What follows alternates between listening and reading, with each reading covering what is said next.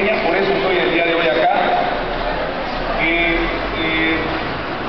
solamente nueve personas tenemos detectadas como heridas, dos, cinco aquí en Pinotepa, entre ellas un policía que se le cayó una barra. En Putla tuvimos también dos personas afectadas, pero afortunadamente ninguna víctima. Desde muy temprano, compañía del director de Protección Civil, que desde el día de ayer, junto con el secretario de las Infraestructuras y junto con el secretario de Desarrollo Social y los responsables del área de vivienda, desde ayer a las 7 de la noche ya el gobierno estaba presente en la zona a 5 horas, a casi 5 horas del temblor ya estábamos aquí en Pinotepa para hacer las primeras evaluaciones con las autoridades municipales. El día de hoy, desde muy temprano, hemos visitado tres municipios, es el tercero. Estuve en Lo de Soto, estuve en Tapextla, estoy aquí con ustedes en Cacahuatepec y voy camino ahorita a Ticayán y luego vamos a hacer una evaluación en Pinotepa. Lo que he visto es que en unas zonas tenemos casas mucho más afectadas que en otras, sobre todo por el tipo de construcción. Aquí tenemos que actuar con mucha responsabilidad. Aquí no se trata de meter por cualquier cosa porque es dinero del pueblo. Aquí vamos a iniciar en coordinación con la autoridad municipal una supervisión casa por casa para ver el tamaño de las afectaciones. Hoy he venido a decirles que casas que se hayan afectado van a tener el apoyo y el respaldo del gobierno para arreglar.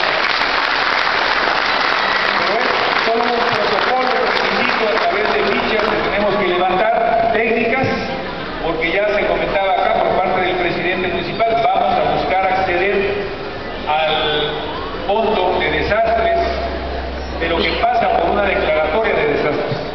Tenemos 72 horas para que el gobierno del Estado, a través de eh, Protección Civil y de la mano de Protección Civil Nacional, tengamos esta información para poder solicitar la declaratoria. Yo he recibido la llamada del secretario de Gobernación, donde nos ha manifestado su deseo de ayudarnos. El señor presidente también el día de ayer a las 5 de la tarde se comunicó con nosotros para decir que cualquier cosa que se requiriera. Entonces estamos en el tiempo para hacer la presentación de la solicitud de desastres y obviamente de la declaratoria. Ya tuve la oportunidad de visitar su centro de salud, está en condiciones inadecuadas. Qué bueno que ya el presidente municipal habilitó un espacio en coordinación con la gente de salud para prestar el servicio en tanto vamos a construir un nuevo, un nuevo centro de salud o algo más grande, porque acabo de hablar con el secretario, acabo de hablar con el secretario de salud, me confirma que está en condiciones inadecuadas, ya él tenía el reporte, había estado platicando con el presidente y es un centro de salud que se le ha ido poniendo chipotes, porque se inició de una manera, luego ampliaron el quirófano, luego ampliaron no sé qué cosa, entonces lo mejor es aprovechar esta coyuntura porque no le vamos a meter dinero bueno al malo. Entonces vamos a hablar con el sector salud para que este centro de salud, por lo que pudiera hacer en función de la población de número, lo que dé realmente en función del número, podamos hacer nuevo centro de salud, por lo que decía el presidente, un CESA, tengo que ver si por el número de habitantes la norma nos lo permite, pero eso es un compromiso que sin duda vamos a atender. Y obviamente que veo que hay otras cosas en las escuelas acá, vamos a ir a una escuela para ver en qué condiciones están, para que obviamente todo esto se pueda atender.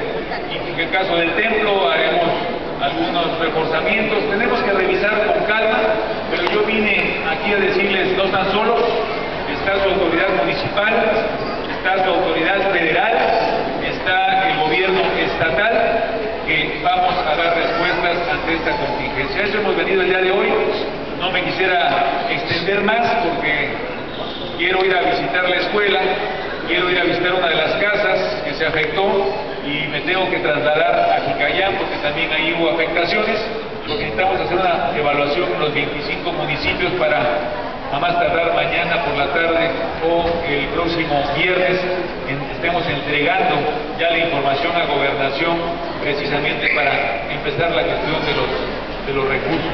Finalizo diciéndoles que ha habido muchas réplicas, hace un rato sentimos otra en, este, pesca que estábamos ahí, este, hay que tener cuidado, no hay que confiarnos siempre, un temblor de esa magnitud genera réplicas, entonces tampoco hay que alarmarse, eh, la tierra se va liberando, entonces este, cada vez va a haber menos temblores de, menor intensidad, pero hay que estar preparados para cualquier cosa. A me dio mucho gusto verlos el día de hoy nuevamente, hace poco había estado, ya esta es como la octava vez que vengo a Cacahuatepec, ya estoy haciendo... Eh,